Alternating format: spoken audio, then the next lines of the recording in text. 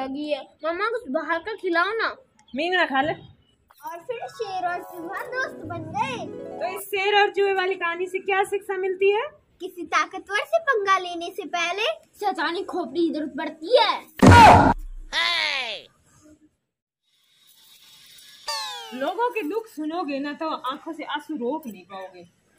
सही कहा यार दुख तो मेरे भी बहुत है। क्या? मेरी कोई तारीफ़ ही नहीं करता।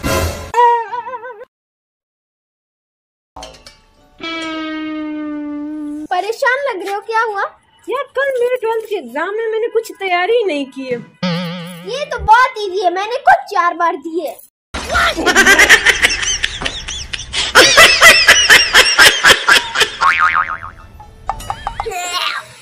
यार सिर बहुत मेला हो गया है। अगले महीने सिर धोना ही पड़ेगा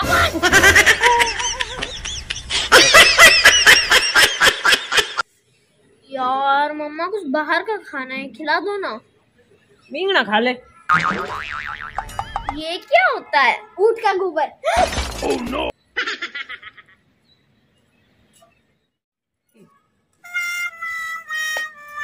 आज मैं कुछ लेने आई हूँ तेरे पास।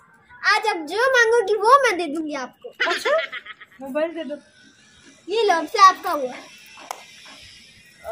पचास हज़ार रुपया चाहिए थे। अच्छा मैं दे दूँगी। घर के प्रॉपर्टी के कागज़ भी दे दो। तुम्हारे हो। चाबी की गाड़ी। दे दी। और वो इंस्टा पे फॉलो भी कर लो। नहीं